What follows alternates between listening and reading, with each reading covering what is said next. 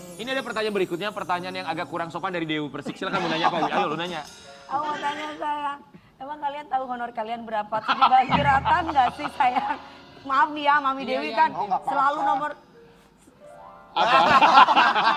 Maksudnya kalau ngomongin honor dia suka... Gak enak gua, iya. Iya. Apakah honor kalian ketika berada di JD11 itu Iya. disamakan ketika kalian nyanyi solo Iya. sendiri-sendiri? gitu? Iya, kalau untuk honor kita disamain.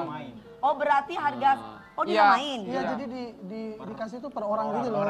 Oh iya pasti kan dibagi per orang, masa mau dibagi, masa nggak dibagi? tapi rata. Harganya maksudnya sama nggak kayak kamu nyanyi single, nyanyi, nyanyi solo, nyanyi Sama-sama. Oh sama. Oh jadi misalnya gini, misalnya kalau uh, Ridwan nyanyi misalnya kalau solo 200 juta gitu ya sekali nyanyi. Iya, terus nah kalau barengan sama JD11 200 juta juga dibayarnya gitu. Iya, tetap. Satu orang. Itu kalau kalau di Enggak, TV. kalau rame-rame sepaket Kalau- lah. Kalau di TV ya, Ya, kalau kayak gitu. Tapi Kalau off air misalkan 200 juta itu rame-rame atau 200 juta memang harga satu orang. nah kalau off air mungkin eh, kita belum tahu ya karena belum ada belum pernah pernah ada off air. Eh, eh, wajar lah kan lagi pandemi. Iya. Tapi alhamdulillah sendiri-sendiri udah pada off air gitu. Tapi ya kita nungguin juga sih undangan buat kita jadi elemen. Ya mudah-mudahan boleh ya guys. Gitu.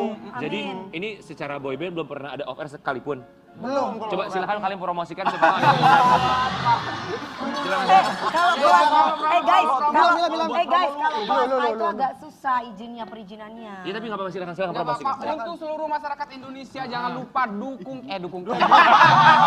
jangan lupa undang GD11 di setiap acara kalian. Mau acara kecil, acara hajatan, acara besar, sekalipun sunatan, Sebentar. akikahan. Semua acara bisa? Bisa.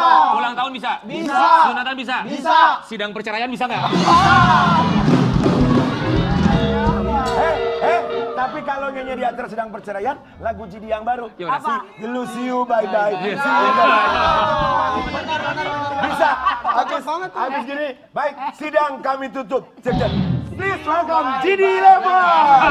See you, bye bye. Masa kita nyanyi di atas penderitaan orang? Hah? Masa kita nyanyi di Eh, atas penderitaan Eh, orang? siapa bilang dari? Eh, itu, itu bukan derita. Kalau enggak, Itu bukan derita, kebahagiaan.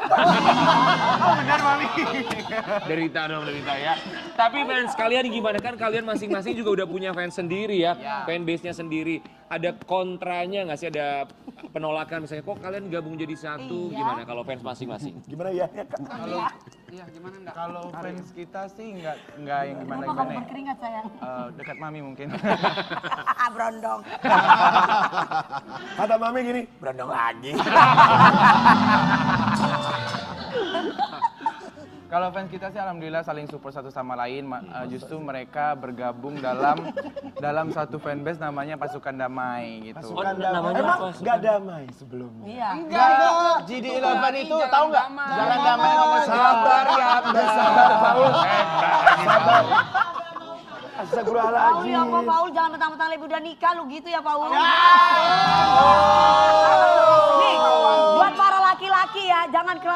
Mau nembak perempuan.